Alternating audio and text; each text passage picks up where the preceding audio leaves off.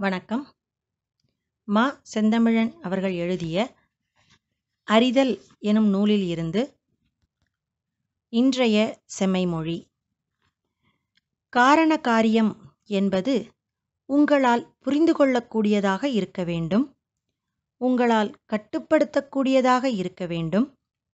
உங்களால் மாற்றியமைக்கக்கூடியதாக இருக்க வேண்டும். புரிதல் கட்டுப்படுத்துதல் மற்றும் மாற்றியமைத்தல். இந்த மூன்றும் இருந்தால்தான் அது தர்க்கம். இந்த மூன்றில் ஒன்று குறைந்தாலும் அது தர்க்கம் கிடையாது. உங்களால் புரிந்து கொள்ளவே முடியாது என்றால் அது தர்க்கம் கிடையாது. நீங்கள் புரிந்து கொண்டீர்கள் ஆனால் கட்டுப்படுத்த முடியவில்லை என்றால் அதுவும் தர்க்கம் கிடையாது. நீங்கள் புரிந்து கொண்டீர்கள் மேலும் அதை கட்டுப்படுத்துகிறீர்கள் ஆனால் மாற்றியமைக்க முடியவில்லை என்றால் அதுவும் தர்க்கம் கிடையாது. தர்க்கம் என்றால் புரிதல் கட்டுப்படுத்துதல் மற்றும் மாற்றியமைத்தல். இந்த மூன்றும் இருந்தால்தான் அது தர்க்கம்.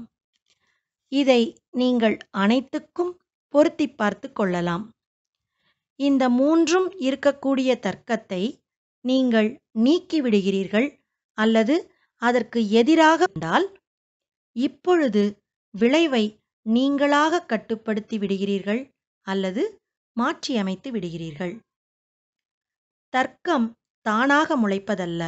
அதாவது காரண காரியம் என்பது தன்னைத்தானே உருவாக்கிக் கொள்வதில்லை. பல மறைபொருட்கள் கூட்டு சேர்ந்து தர்க்கத்தை விளைவுகளை உருவாக்குகின்றன. அவ்விளைவுகள் எப்படி உருவாகின்றன என்பதை தர்க்கம் விளக்குகிறது. ஆகவே தர்க்கம் என்பது சுயம்பு அல்ல. அதற்கு பின்னால் பல காரணிகள் உள்ளன. விளைவுகளை மட்டும் புரிந்து கொண்டு அவற்றின் தர்க்கங்களை மாற்றி அமைத்தால் தற்காலிக மாற்றம் ஏற்படும் அது நிற இருக்காது ஏனெனில் விளைவுகளை நீங்கள் மாற்றலாம் ஆனால் அவ்விளை உருவாக்கும் காரணிகளை நீங்கள் இன்னும் அறிந்து கொள்ளவே இல்லை. புரிதல் கட்டுப்படுத்தல் மாற்றுதல் ஆகியவற்றை விளைவுகளின் மீது மட்டுமே செலுத்த முடியும். காய்ச்சல் வருகிறது. காய்ச்சல் என்பது விளைவு. உடலில் மனதில் சூழலில் உருவாகும் பல்வேறு காரணிகள் காய்ச்சலை உருவாக்குகின்றன. தர்க்கபூர்வமாக அணுகும்போது காய்ச்சல் வந்த உடல்களில் சில நுண்ணுயிரிகளின் எண்ணிக்கை அதிகம் உள்ளது. ஆகவே அந்த நுண்ணுயிரிகளால் தான் காய்ச்சல் வருகிறது என்ற புரிதல் உருவாகிறது. அந்த நுண்ணுயிரிகளை கட்டுப்படுத்தும் தொழில்நுட்பங்கள் உருவாகின்றன. சூடாக உள்ள உடலை இயல்பான வெப்பநிலைக்கு மாற்றி அமைக்கவும் மருந்துகள் தயாரிக்கப்படுகின்றன. புரிதல் கட்டுப்பாடு மாற்றியமைத்தல் ஆகிய மூன்றும் இதில் உள்ளன.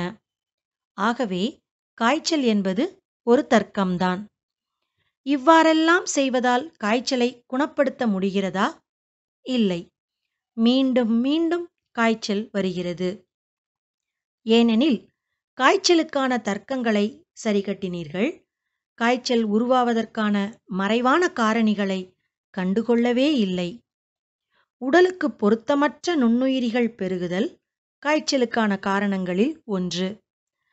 அந்த நுண்ணுயிரிகளின் பெருக்கத்தை மருந்துகளால் கட்டுப்படுத்தினால் காய்ச்சல் தணியும். ஆனால் ஏன் பொருந்தாவகை நுண்ணுயிரிகளின் பெருகுகின்றன என்ற கேள்விக்கு விடை காண வேண்டும். காய்ச்சல் எப்படி வந்தது என்று புரிந்து கொள்வது போதாது. ஏன் என்ற கேள்வியை நோக்கி நீங்கள் பயணிக்க வேண்டும். அப்போதுதான் இதே நுண்ணுயிரிகள் ஏன் ஒரு சிலர் உடலில் மட்டும் பெருகுகின்றன என்பதை புரிந்து கொள்ள முடியும். இந்த புரிதலுக்கு வந்துவிட்டால் நுண்ணுயிரிகள் அல்லது கிருமிகள் அவ்வளவு கொடியவை அல்ல என்பதை தெரிந்து கொள்வீர்கள். ஏன் என்ற கேள்வியை கேட்டுக்கொண்டே இருந்தால் காய்ச்சல் மீதான அச்சம் விலகும் கிருமிகள் குறித்த தெளிவு கிடைக்கும் மன அமைதி ஓய்வு முறையான உணவு பழக்கம் சூழல் மாற்றங்கள் பருவநிலைக்கும் உடலுக்குமான உறவு உள்ளிட்ட ஏராளமான புரிதல்கள் ஏன் என்ற கேள்வியின் வழியாக கிடைக்கும். இதன் பின்னர் நீங்கள் காய்ச்சலை அணுகும் முறை முற்றிலும் வேறானதாக இருக்கும். காய்ச்சலை காட்டி உங்களை எவராலும் அச்சுறுத்த இயலாது.